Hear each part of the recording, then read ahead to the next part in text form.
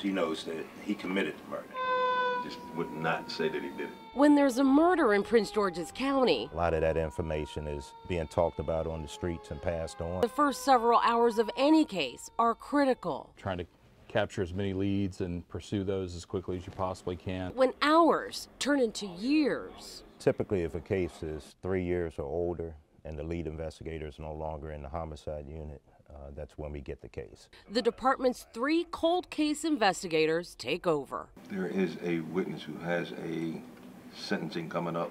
Detective Spencer Harris is the unit's newest member.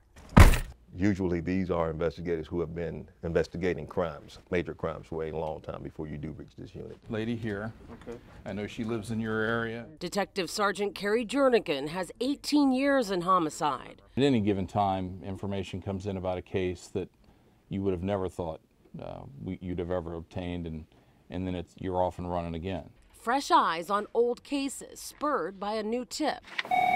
Or a phone call from a grieving family member asking these men to take a second look. Thank you very much. We try to see if there are any viable leads that need to be pursued that weren't pursued before.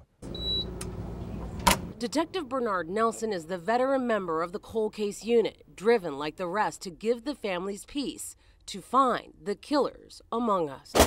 You literally don't want people to get away with murder.